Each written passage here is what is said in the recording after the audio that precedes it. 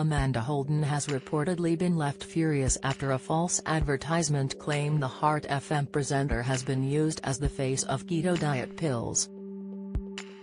The fake advert also claimed that she had clashed with Britain's Got Talent bosses for losing too much weight, according to reports.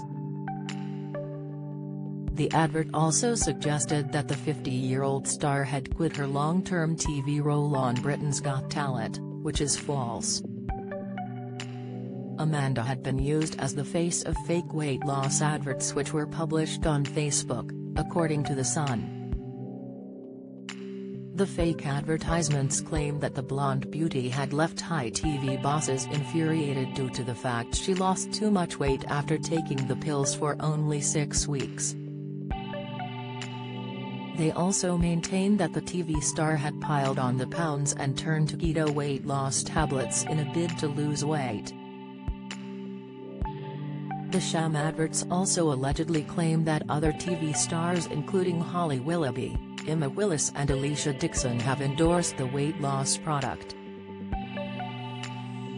The TV personality is believed to be horrified after discovering the ads online. Amanda is horrified that she'd be targeted in that way, the last thing she'd want is for her fans to be scammed into buying a product, or thinking she'd quit BGT, a source told the publication. Express.co.uk has contacted Amanda Holden's representatives for comment. This is not the first time that the talent judge has been targeted by scammers online. Back in 2019, Amanda was left furious when another fake keto advert used her images. The on-screen took to Twitter and vented her frustrations as she called out the fake stories. The ITV favourite issued a warning to her followers at the time.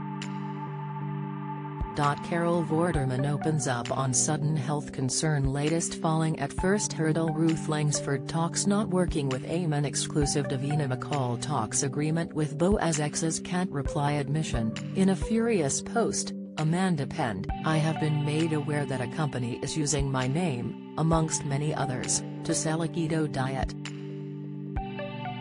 I have not given consent for this and have no partnership with this company. This is a scam. So please be careful and do not sign up to this as they will take your money. Meanwhile, Amanda recently caused a stir on social media after the presenter appeared to go braless earlier this week. The TV personality showed off her impeccable style in a black figure-hugging skirt, partnered with gold and black stiletto heels. Amanda paired the skirt with a long-sleeved buttoned grey crop top, with her blonde tresses falling effortlessly down her face. Sharing the look on Instagram, Amanda can be seen posing at the Heart FM studios